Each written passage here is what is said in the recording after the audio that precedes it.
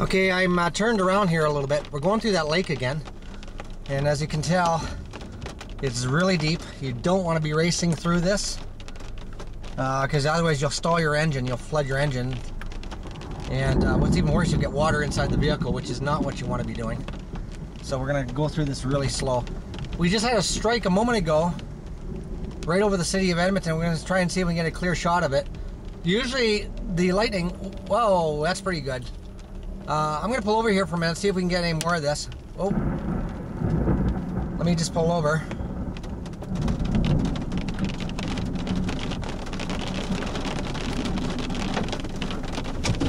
Okay, I'm going to uh, kind of pan around here a little bit so we can get a shot of the city. Can you see that? Um, I'm going to leave it here. I'm going to turn my engine off for a minute and we'll see if we can get uh, a couple of shots of this, the lightning here.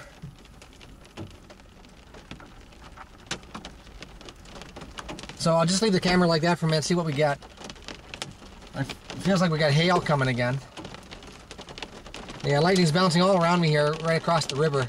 Uh, where the camera's pointed right now, the North Saskatchewan River is right below us. Oh, here comes the hail. Gotta get out of here. Hang on.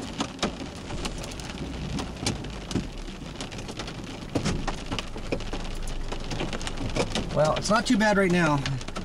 Uh, I'm just getting ready to move here. I got my engine running again, just in case uh, we have to boogie our rear ends here real quick. I've got a tree in front of me that I can climb underneath with my vehicle if I have to.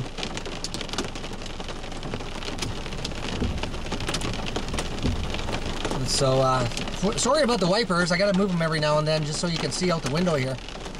Um, but we had a couple lightning strikes here. I'll hopefully catch a couple more on video here for you.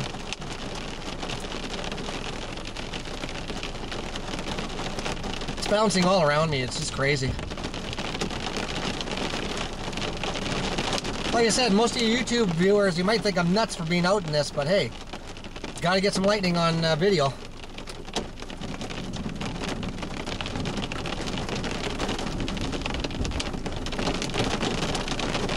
Yeah, here comes. I think, I think that's rain or hail. I can't tell. It looks like mostly rain, less hail.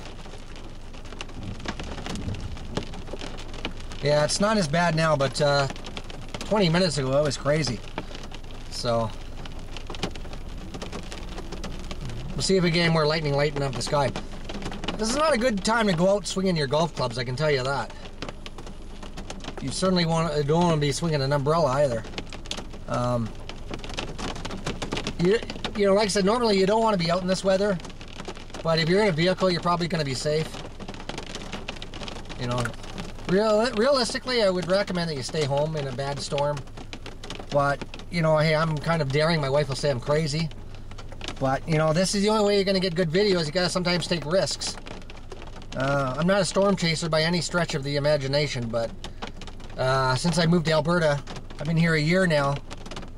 And uh, we get storms here that are worse than anything you'll ever see in British Columbia or any, any other parts of Canada. The prairies get some really fantastic lightning storms and uh, they're well worth chasing because I can tell you, you get some amazing shots. So now, now that I've got the camera pointed here, I suppose we won't get any more lightning this direction, but we'll see what happens. I think we got a couple good shots anyway. Oh, mosquito! I can't believe I'm sitting here in my car, and I've got mosquitoes flying around me outside here. Do you believe that? Are they crazy? I wouldn't walk in this weather right now. If you don't get struck by lightning, the mosquitoes will get you. That's bad. Uh, let me point my camera here for a second. Let's see if you can see these guys. I don't know. Can you see them in the... Can you see them flying around on the window here? Look at this. Just bring it up a bit so you can see it. Maybe you can see them better.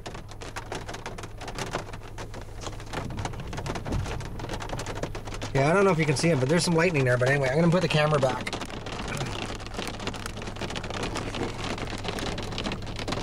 Just like that. Sorry, didn't mean to shake the camera there, but uh, let's see if we can get another shot.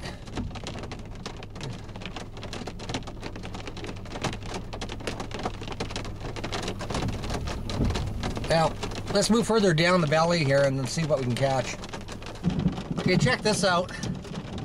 Uh, we got another lake right in front of me. Um, this has happened in a matter of 20 minutes or so. Look at this lake. Uh, I mean, you can't even, you, you can't really see anything. Look at, well, here's a guy going through it. Look at this, check this out. Like, you gotta go through this slow. You really do. I mean, this is, this is freaking crazy, man. You can see the waves. Look at, there's actually waves in the water here. Do you believe that? Well, another car is coming down here. This should be interesting. The guy's got a truck. Oh, maybe he's chickened out. He's not going to come this way. So, uh, yeah, just unbelievable, eh? I mean, look at that. Got a freaking lake right in front of me. Okay, before I leave, look at this. We got a truck coming with a trailer here. Let's see what kind of wake he makes here. He's going slow, which is a smart thing to do. Wow, he's not going that slow. Look at this. Look at that. This guy's got this guy's braver than I am, man. I can tell you. Okay, I got a guy coming towards me. Look at this. Look at the water here. I mean, this is friggin' nuts. I hope he doesn't go too fast. Yeah, he did. That figures. Okay, we moved to another spot here. Um, just gonna center my camera here a little bit. We're looking towards Edmonton again. Um, we're getting some good lightning strikes here, so I'm aiming the camera this way to see if we can catch anything. I got another guy's pulled over as well. See, uh, there you go. See that strike?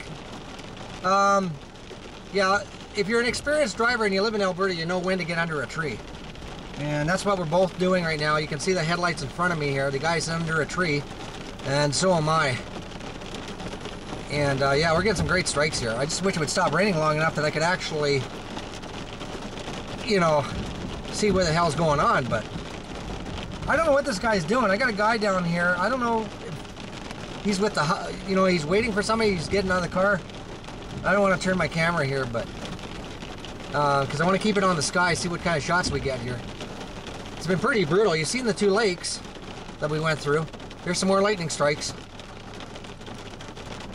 So, I said you don't want to get caught in this stuff because aside from the flooding uh, you could get struck by lightning real quick out here. The lightning bounces everywhere. Safest place to be is in a vehicle. I know some of you would argue that, but uh, I can tell you from experience, having grown up in the prairies, this is the place to be. Even though I'm under a tree, if this tree got struck, the only danger I would get is the having the uh, limbs split and then have huge branches landing on top of the truck. I mean, these trees are elm trees. They're about 70 feet high and if we had one good lightning strike, it could split the tree and uh, it could crush this vehicle if uh, the tree split and fell on top of the truck. So that's the only risk. But um, other than that, you know, we're perfectly safe. So uh, I'd rather be in here. I mean, certainly you don't want to be standing under a tree outside your vehicle. So, but if you're inside, you're going to be safe. So I'm missing all the strikes here. I got one on my right, of just to the right of the camera here, but We'll see if we can catch a couple more in front and see what happens. There you go. There's a strike for you. Yeah, the lightning out here, you got to time it. It's unpredictable. You don't know where it's going to hit. Um, I'm going to try and take another shot. Of, try and show you the city lights here in a minute. Okay, here is the city. I don't know if you can see it too well with the lights.